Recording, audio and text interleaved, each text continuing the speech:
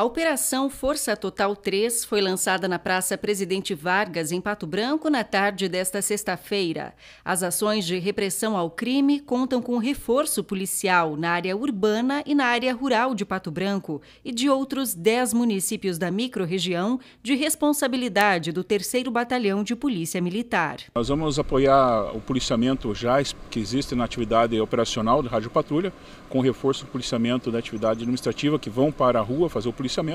intensificando as ações e a presença da, da Polícia Militar, eh, não só na área urbana, mas na rural e nas rodovias, com a intenção de minimizar a possibilidade de ocorrências de delitos e crimes que possam surgir. Então, por isso estão policiais da Rádio Patrulha, pessoais, policiais que trabalham na parte administrativa, que faz a máquina girar, e policiais da Rotan, da Rocan, que vão trabalhar nessa situação, bem como eh, apoio com a Polícia Rodoviária Estadual, que estará apoiando conforme a sua atividade específica. É desenvolvida em todo o Brasil essa ação,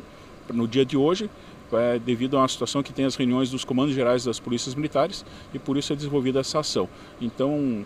o aparato aplicado é todas as forças policiais que trabalham, estão trabalhando em todos os estados e é que o Paraná está acompanhando, então todos os municípios estarão com ações relacionadas a essa atividade nesse dia. A operação teve início nesta sexta-feira e nos 11 municípios da microrregião de Pato Branco, que pertencem ao 3 Batalhão de Polícia Militar, essas ações vão seguir até domingo. A operação reforça o efetivo policial em um período em que a movimentação é maior por conta das festas de final de ano. Nós somos sabedores da questão do horário prolongado do comércio, da atividade